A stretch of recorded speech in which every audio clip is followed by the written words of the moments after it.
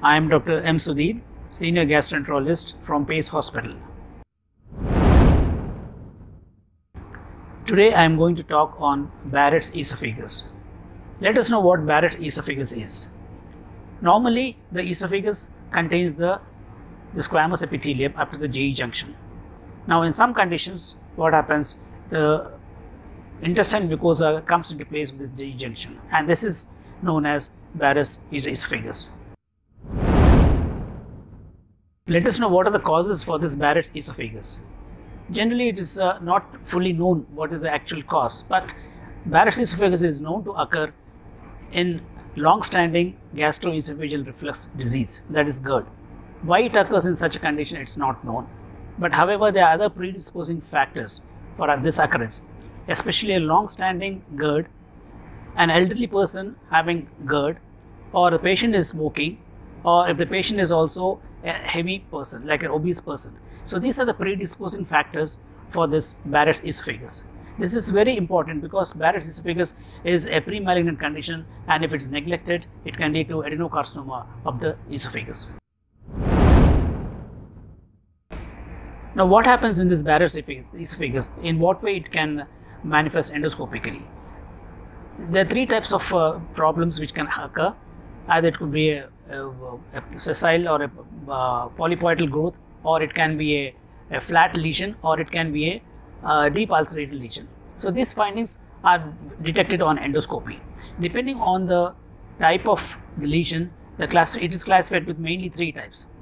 That is uh, uh, polypoidal or that's type 1, and type 2 is a flat lesion, and type 3 is ulcerated lesion. Again, there are subtypes in this that we need not go into the detail of it. Now, the main purpose of this is because how to treat depends on this type of lesion, and then how to manage endoscopically or where the patient requires any biopsy. The clinical features of Barrett's esophagus, clinically it is not detectable. Patients don't have any specific symptoms concerning Barrett's esophagus. They have mainly GERD symptoms only. So all patients of GERD has to be screened for the Barrett's esophagus. And then you know, uh, especially the patient is having a long-standing GERD or patient is a heavy person or patient is not responding to PPIs, definitely we have to be look very closely into the GE junction. Now, what are the places where we have to look? It is one centimeter above the GE junction, and we have to look for uh, the uh, the prolonged uh, tongue-like margins of the, the mucosa coming into the esophagus. More than 4 centimeters is very important, but less than 4 centimeters also we have to be very careful. And uh, how to detect this in a more uh, early stage? We have different modalities. A routine endoscopy screening is important, and then we have other endoscopic techniques like uh, NBI, there's narrowband imaging, or then we have this FICE, that is a flexible uh, image uh, intensifying you know, color uh, enhancement. Then we have you know other modalities like i-scan also.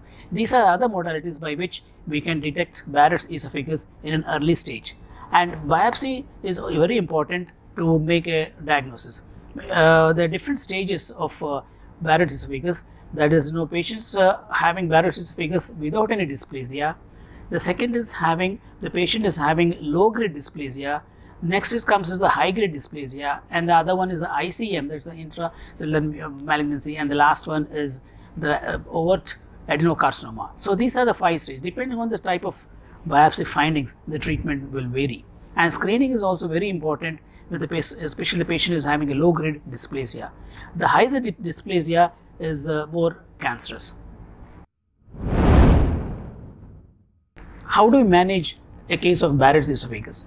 The primary treatment is mainly treating the GERD, and then and the next thing is surveillance. So uh, catching the patient early is very important. As I told, you know, Barrett's esophagus without any dysplasia, it doesn't require any treatment, but a periodical endoscopy has to be done. Next comes the patient with a low-grade dysplasia. Again, there is no active treatment for this, but a repeated biopsy has to be done. For example, uh, the patient is having low-grade dysplasia on day one. Again, we'll have to repeat it after few months. Again, the repeat biopsy uh, every three years or something like that. And then when the patient is having a high-grade dysplasia, definitely we'll have to intervene uh, endoscopically. And uh, this high-grade dysplasia is very highly malignant. the actually the malignancy rate can vary in a uh, Barrett's esophagus from 0.12 to 1 2 percent. So you can imagine the spectrum of uh, the incidence of uh, carcinoma of esophagus in this Barrett's esophagus. Now, how do we treat? We have different modalities endoscopically. That is one is known as APC. There is argon plasma coagulation. The second one is radiofrequency ablation, and the next one comes as the uh, submucosal resection or endo uh, EMR or the endomucosal resection. So these are the different ways of treating. So depending on the type of lesion, we have to treat accordingly. These are different methods, the more technical uh, methods for a common man, but you know they are all non-invasive. And then you know even though we do this, uh, repeat biopsy is very important in the follow-up of the patients because what happens, uh, there can be recurrence of uh, the dysplasia or malignancy in spite of the treatment. So that's why periodic surveillance is very important. Now, when we go, to the prognosis or the long term outcome of uh, Barrett's esophagus, as I told you, the first stage doesn't require much of uh, concern, but however, surveillance is important. But in the subsequently, if the biopsy shows a high grade dysplasia or uh, uh, malignancy, the such patient has to be closely monitored endoscopically repeatedly, and repeat biopsy has to be taken. And especially when we take a biopsy, we have to go for a four quadrant biopsy of 1 to 2 centimeter part above the GE junction. This gives a clear picture of whether the patient is having recurrence of Barrett esophagus. This is very pre-malignant condition. So in such a case, you know, we'll have to be very closely monitoring it. So prognosis varies depending on the type of pathology. So we'll have to be very cautious about uh, observing detection as well as in the treatment of this Barrett's esophagus. Let me point out for some important tips uh, for preventing gastrointestinal diseases. Know, the gastrointestinal diseases are so many and you know, so many causes are there, so many infections are there, but mainly we should not forget about the diet related problems because diet is one thing which is very much uh, incrementing factor or rather precipitating or aggravating factors for the existing disease. Especially we all follow uh, the traditional diet you know is, is being changing into the westernized diet. This happens because of all this junk food and then high fatty, high saturated fat and then in a lot of uh, spicy and then so all these things are very dangerous to the body. It may not show immediately. So by over a period of time, a lot of things can happen especially we have seen many GERD is one important thing. Then uh, also acid peptic disease is another one. Aggravation of cirrhosis is another one. Inflammatory bowel disease is also one of the things which uh, can be uh, precipitated or aggravated by this dietary change. So best thing is to follow is you know our mainly Indian diet. Don't go for the Western diet. Avoid fatty foods. Avoid uh, uh, the cool drinks, aerated drinks, saturated fats. All these things are very detrimental to the human body. So going for a traditional Hindi, uh, uh our uh, Indian diet is very beneficial for the persons.